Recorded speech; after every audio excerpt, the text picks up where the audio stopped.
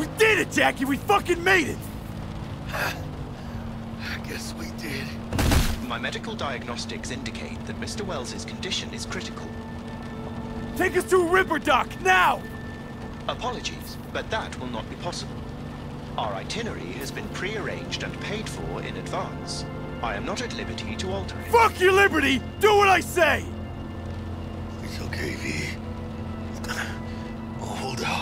I suggest you try to keep Mr. Welles conscious. We'll be getting preem jobs left and right now.